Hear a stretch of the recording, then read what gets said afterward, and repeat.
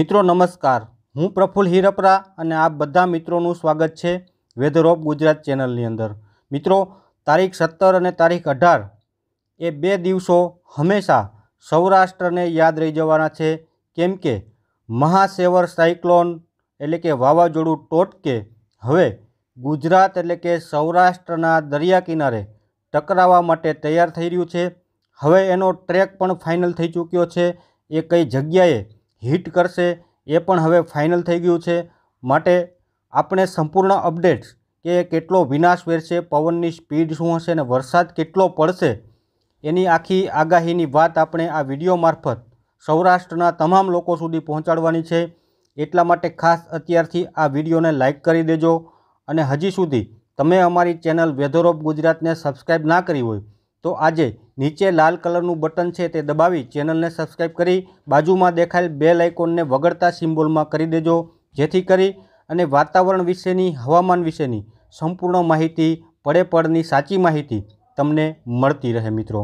મિત્રો, ભારતીય હવામાન વિભાગે જાહેરાત કરી છે કે સાયક્લોન ટોટકે આજે સવારે દસ વાગે વેરાવળથી સાતસો ચાલીસ કિલોમીટર દૂર ગોવા પાસે હાલમાં સ્થિર થયું છે અને હાલમાં એ વેરી સેવર સાયક્લોન બની ચૂક્યું છે, જે ખૂબ જ વિનાશક છે અને હાલમાં તેની પવનની ઝડપ એકસો ચાલીસથી લઈ અને એકસો સિત્તેર કિલોમીટર પ્રતિ કલાક જોવા મળી રહી છે, જ્યારે આજકાના પવન તો ક્યારેક ક્યારેક એકસો નેવું સુધી પણ નોંધાઈ રહ્યા છે.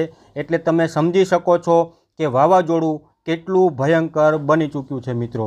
અને હાલમાં આ વેરી સેવર સાયક્લોન ઉત્તર ઉત્તર પશ્ચિમ દિશા તરફ આગળ વધી રહ્યું છે અને એ સૌરાષ્ટ્ર તરફ આગળ વધવા માટે તૈયાર થઈ રહ્યું છે. સૌરાષ્ટ્ર તરફનો રસ્તો આ હેવી સેવર સાયક્લોન ટોટકેએ પકડી લીધો છે. સૌરાષ્ટ્રમાં એ દીવ અથવા તો દીવથી થોડું અમરેલી સાઈડથી જ સૌરાષ્ટ્રને હિટ કરી દેશે અને અઢાર તારીખે વહેલી સવારે આ ટોકટે હેવી સેવર સાયક્લોન સૌરાષ્ટ્રને હિટ થશે. હીટ થતાં પહેલાં ઝાટકાના પવનો સાથે આ મહાસાયક્લોન પોતાની અસર દેખાડવાનું શરૂ કરી દેશે મિત્રો.